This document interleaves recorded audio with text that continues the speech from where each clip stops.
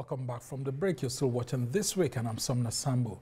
Now, the Nigerian military has denied accusations by the Senate that intelligence failure on its part led to the Gwoza twin suicide bomb attacks, which claimed at least 32 lives last Saturday.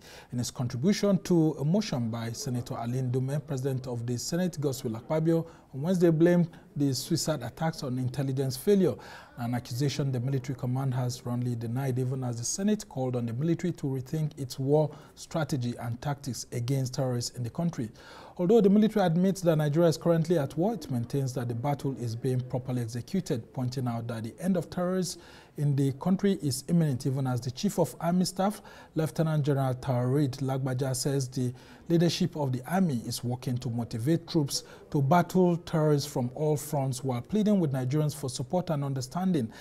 Uh, General Lagbaja continues uh, this conversation now. Let's listen to him.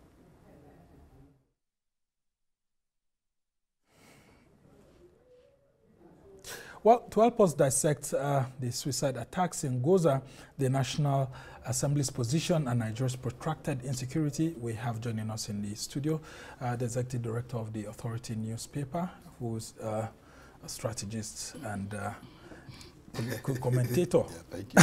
let, thank you so uh, let, us talk about. Yeah, thank you for having me. Yes, Sonda. thank yes. you so much yes. for joining us. Mm. Now let's talk about the political angle that this story was beginning to take during the week. Uh, we've seen the chief of army staff, General uh, Lagbaja, going around. Uh, uh, we've seen the vice president visiting Gwoza and all of that. We've seen the army. I think it happened during the week when the army is holding uh, lots of engagement Yes. with Nigerians everywhere. The Senate is saying that there seemed to have been an intelligence failure. Even the foreign media is picking it up. Yeah. What's your general assessment? Yeah, I, I think it's very, very unfortunate that the Senate President, for the Senate President to have said what he said about uh, the Senate, to talk about uh, intelligence failure. To begin with, at this time, what our military require is support. And then the last persons who should be criticizing the military should be the, I mean, the Senate should be the last um, group of people who should be criticizing the military.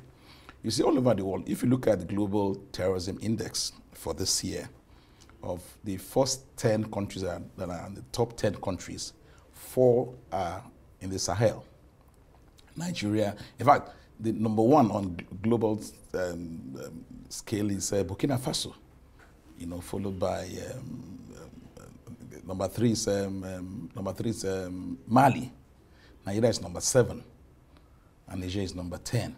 So, and it's a, it's a it's a wonder that Nigeria is on number seven because Nigeria is the most populated country in Africa and definitely the most populated in, in, in the West African sub-region, Sahel.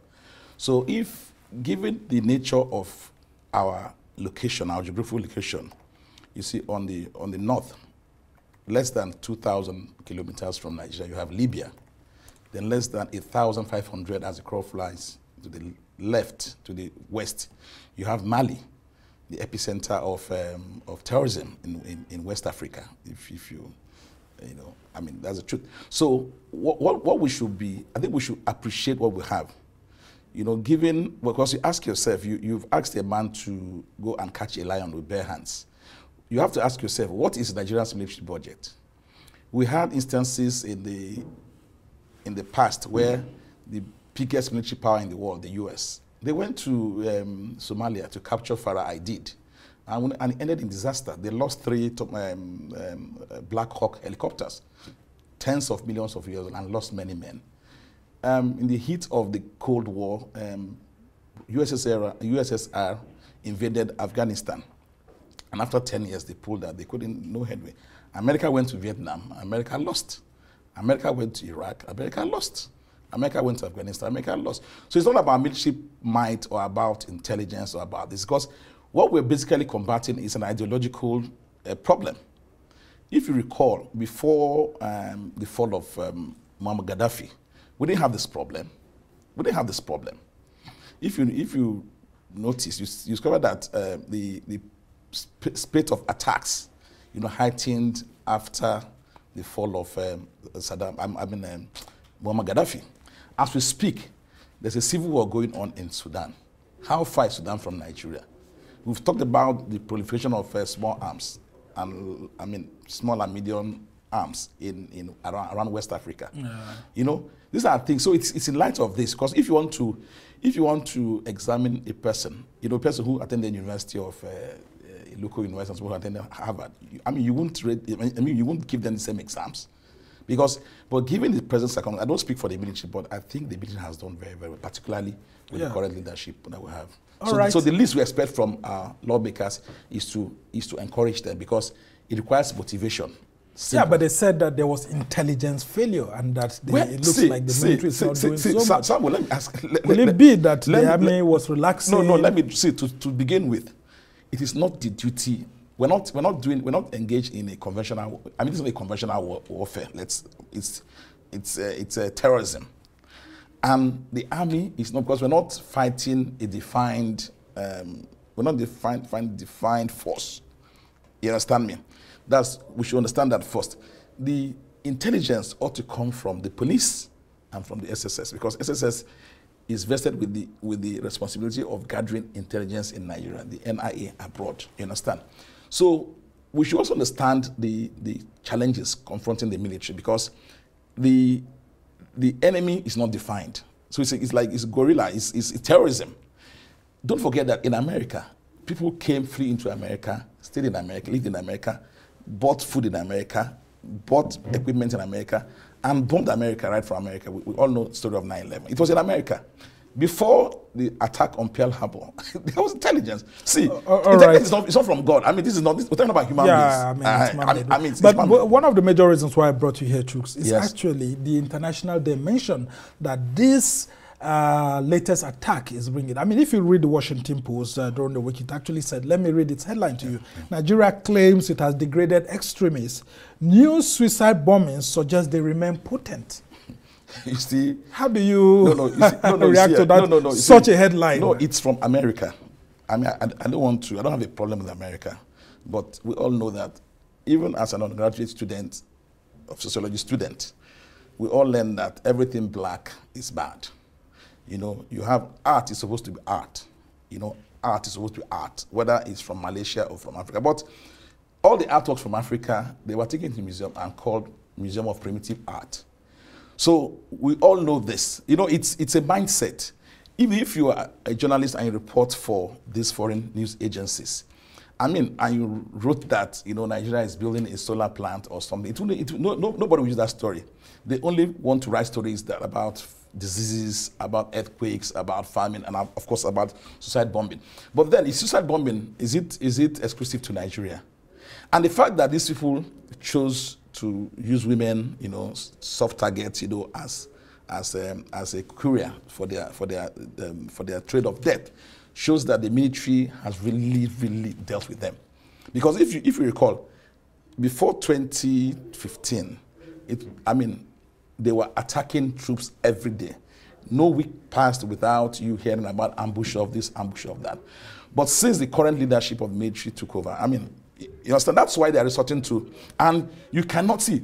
It's only God that can stop a suicide bomber, because the worst crime on earth is to is for one to take to take his life.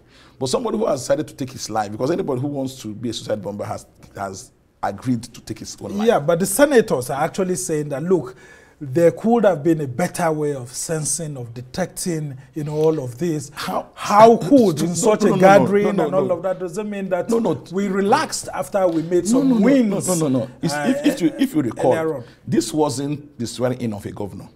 This wasn't. This was. This was. This was a normal. Yeah, I mean, normal, ha, normal, ceremony, you know, yeah. wedding, you know.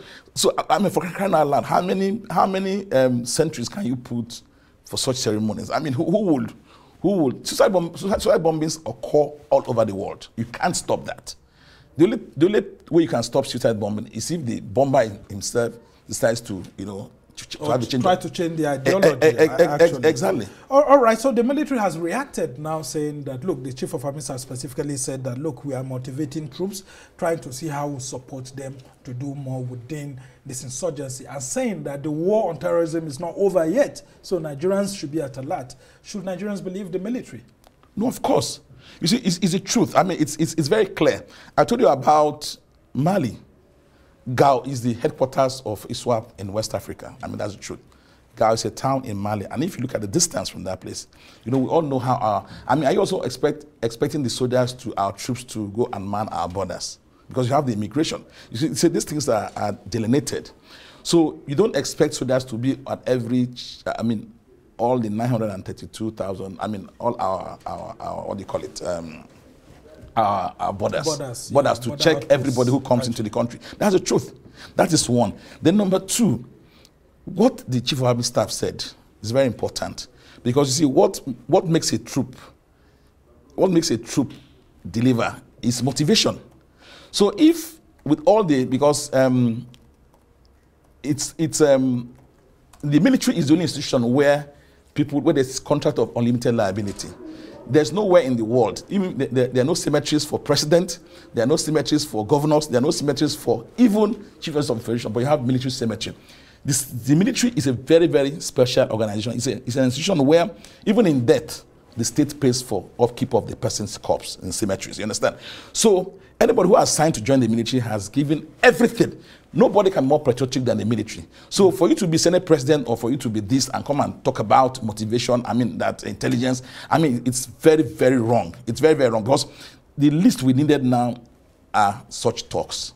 All right. We needed Senator people who- Adams Oshiomhole, Yes. I mean, this senator from Edo, Edo North, actually raised an issue saying that, look, and, and this is what I'm trying to quote what he had said, uh, that the Senate should not only seek to provide more funds for the army, but jealously monitor the procurement process. While the Senate generally eh, later on stepped down, you know, uh, they plan to actually oversight uh, monies appropriated to previous service chiefs, saying that, look, these are security matters. How, how, how do you contextualize this issue? I mean, the need to probe monies being No, no, given you see- to see- service see- chiefs, the- and then they need to also hide it so that it's not coming to the public, so that we don't castigate and downgrade the morale of the military. You see, without without uh, sounding petty, the last time I checked, Adams Oshiomhole was a textile worker. So if Yeah, he's- but he's now a senator but if he sees no, no, no, no, no, but if he sees your cloth, he can say this is linen or this is cotton. You see, let's not. I'm not, I'm not a military expert. I don't even know apart from few rifles. What I read, you know, Tavor, AK-47, and the rest. You know. Yeah, but the politics of no, no, it but, is no, what no, we are no, talking but there's about nowhere in here, the world. No, no, actually. no, no. He might as well. The Senate might as well go to buy arms for the military. I mean, it's not done anywhere in the world. You don't, you don't like the say. You, you, you, you don't beat the drum and also dance. There's what we call division of labor. See, this is the path these people have chosen. You understand? This is the path. It's like asking the F. I mean, I don't know. I don't. There's no even anywhere in the world military purchases are classified. That's the truth. That was why when Buhari tried to probe the, the former NSA, um, uh, Sambo Dasuki, your, your namesake, you know, he ended in a cul-de-sac because military spending, there's nowhere in the world where you, where you probe military spending because it's supposed to be classified. Because you don't, you don't, you don't. Yeah, but no, shouldn't have you ever senators seen- be raising No, no, have you ever seen a red no, flag no, no, sorry. when they've invested money, they've approved No, money no, but okay, from now- Abuja, and it looks like it's not working out there. No, no. How does it look? No, no, no, no, no. How does it look like it's not working? It is such comments that actually demoralize the troops. You see, the best fight. I'll give us an example. During the Second World War, there was this uh, General Patton, um, uh, General George Patton, uh, Smith Patton. He inherited the same troops, you know, um, the same troops, American troops, the same. They didn't buy more equipment, but he he he spoke to the soldiers. You know, he addressed them, he charged them. You know, he he boosted their morale, and that turned around the war. So it's not, you know, you know, guns don't fight war. If you if you give the best weapons to soldiers and they're not motivated, they will, they will drop the arms. And that was what uh, someone like General Lagbaja was addressing a few uh, weeks ago. You know, I, I, I read about his address where he was admonishing troops to be very, very bold and, you know, to. I'm, I'm sorry. In 19, in 2000, when I went to Port Harcourt, there was this um, um, um, um, Navy Navy officer, um, Navy Captain Gabriel Ona. Yeah, yes, Navy Captain Gabriel Ona. He addressed men, NNS Okemini. That was my first story in Port Harcourt. He said, see, that we are better equipped, we are better this, don't be afraid of these boys, the economic saboteurs, go after them, you are better equipped, you know, take, take, take them on. So, and that's what someone like, Bernard is also saying now. He's so, we should encourage our troops. We should show them love. We show them support. Look at what happened a few days ago in Zakibiam. In 2001, 19 soldiers were killed in Zakibiam. You know, the, the, the government leveled Zakibiam. And now, a few days ago. See, same thing, same thing. The same people, they've burned down INEC headquarters. They've done, you know, they've taken the London house. They've destroyed several things in the state. So it tells you that we have a problem ourselves as citizens. Because when we talk about security, we also owe these people some measure of support, not All just right. come. Uh, just as uh, in just 30 seconds, let's talk about how Nigerians can support the military within the context of fighting this insurgency. Because we are thought that this issue of suicide bombing and all of that was gone. But all of a sudden, we are seeing a resurgence very quickly. No, Very quickly, see, to start with, soldiers don't live among civilians. Soldiers live in barracks. Civilians live among civilians. Policemen live among civilians.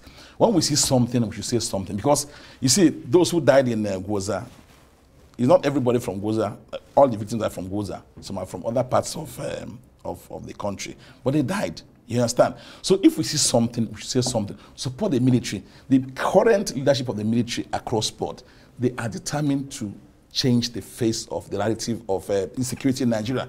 And the least we owe them is to support them, you know, both morally and um, otherwise. All right, and I, I think we too, as journalists, we owe No, no, we- no, no, a no, major no, no, no, support that's to why- the military no, no, because that's I mean, why- no, that's these issues. I mean, when I saw that uh, headline actually by the Washington No, it was very, very negative, very negative. Yeah, I mean, this ve- very keeps going on negative. because I mean, there was actually an agreement that Nigeria had done very well in tackling this insurgency. But this idea of saying that, look, we are claiming that we've tackled this insurgency, but these suicide bombings Even have in actually Israel, shown no, no, the no, something happened in underbelly. Israel a few months ago. No, Well, something happened in Israel. well, thank you. Terrorists came into Israeli soil and attacked and killed enough people.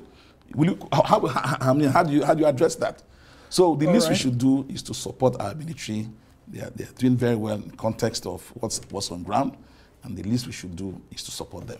All right, we must thank you so much, uh, Chuks Akunna, as the executive director of the Authority newspaper, uh, one of the newspapers in the country. And of course, we must thank you for joining us to help us understand the issues uh, that's uh, being put out there on the resurgence of suicide bombings, and of course, how the military is uh, attacking uh, the attackers, and of course, the National Assembly's uproar during the week on what's been happening, claiming that it's uh, intelligence failure that led to that.